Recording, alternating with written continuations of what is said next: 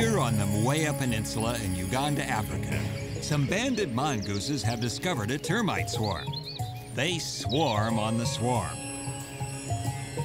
And then, predator turns prey when the mongoose's nemesis, the marabou stork, appears.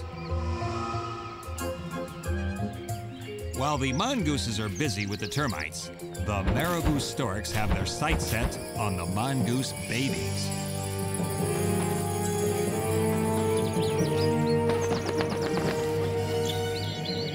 The pack stands fast, trying to fight off the storks.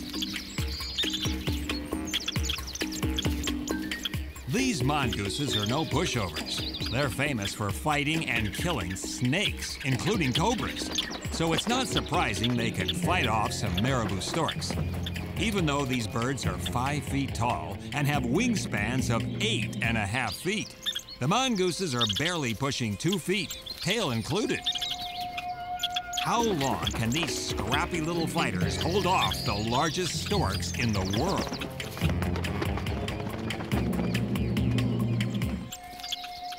The mother mongoose and her seven pups have now taken refuge in this stack of fishing boats.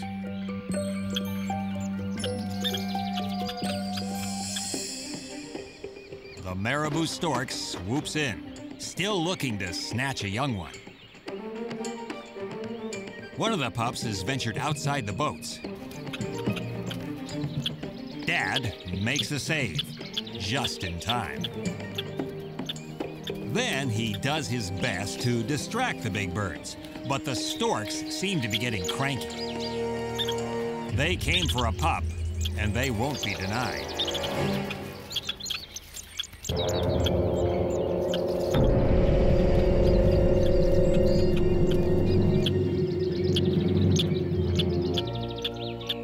Mongooses abandon ship and look for more secure turf.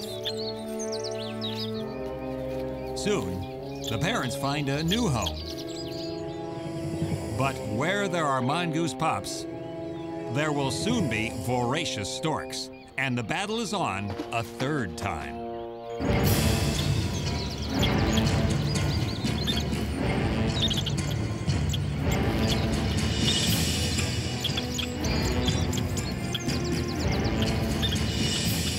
One pup gets separated.